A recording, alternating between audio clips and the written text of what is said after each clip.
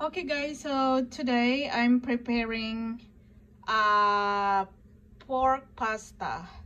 So, sa ilalim nito, yung pasta or elbow macaroni. Tapos, sa middle, nilagyan ko na ng sauce.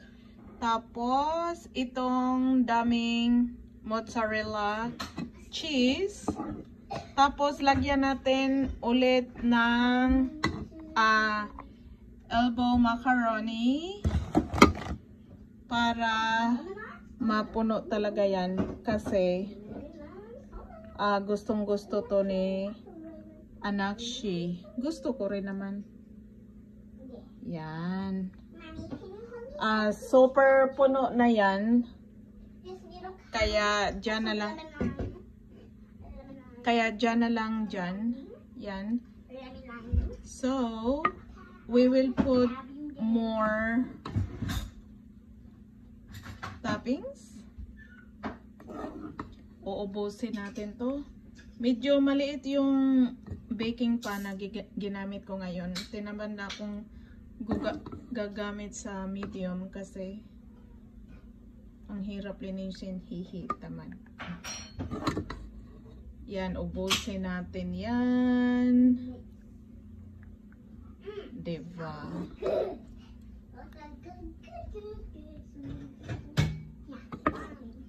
So, ito lang ang dinner mamaya. Nilagyan ko ng ano, kunting spinach para may makita kunukay na ano, kunting vegetables. Gusto kasi ni Mr. ng ano, vegetables guys. Kaya yan. So, ang last topping nito, wait. Pinereheat ko na yung oven. Ang ilagay ko sa top nito ay cheese galore. Marami pa ba dito? Wala na. Yan. O, diba?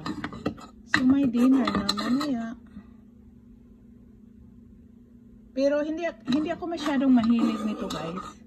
Si Mr. lang at saka si Taya. May ano ako eh. May shrimp curry with kalabasa.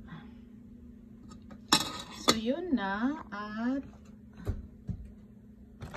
itong napakaraming cheese. Ito ang resulta pag tamad maghugas. Medyo umapaw yung laman. Sana hindi tumag. Yan. I-bake ko lang to ng ano guys. 10, 5 to 10 minutes para ma-melt lang yung cheese.